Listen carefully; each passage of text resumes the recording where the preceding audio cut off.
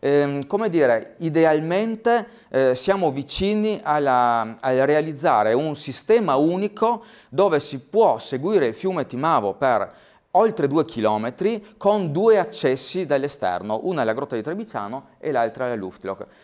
Un percorso però che è precluso a noi speleologi, ma che potrebbe essere eh, fatto solamente dai speleosub. Come dire, uno speleosub entra a Trebiciano, si immerge nelle acque, attraversa la caverna Mauci e arriva nella caverna Luftloch trovata eh, qualche mese fa e magari esce fuori dalle Quanto Luftloch. manca?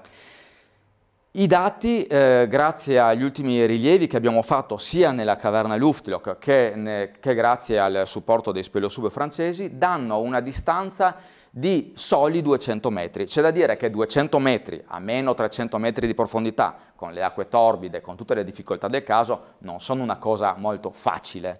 Però eh, se guardiamo appunto rispetto ad anni fa, che di questo sistema che oggi ha quasi due chilometri non c'era praticamente nulla, 200 metri eh, diventano un qualcosa di realizzabile. Solamente quest'anno gli speleosub francesi sono avanzati in queste nuove canalizzazioni per 300 metri, quindi sono arrivati a più di metà strada che separa la grotta di Trebiciano a quella della Luftloch. Quindi a quel punto si potrebbe passare, chiaramente speleosub parliamo, no? da una grotta, dall'abisso di Trebiciano attraverso questo passaggio eh, in acqua fino alla Luftloch. Perfetto. Questo è il sogno, diciamo, per voi. Questo è un sogno che in realtà fino a qualche anno fa era solo un esercizio di fantasia, era una cosa talmente lontana che neanche non, la, neanche non, si riusciva a sognare una cosa del genere. Invece, unendo questi due tasselli, quindi le esplorazioni speleo-subacquee e la scoperta della grotta Luftloch dopo 20 anni di lavoro in quella grotta, stanno rendendo un conto alla rovescia questo sogno. Ecco.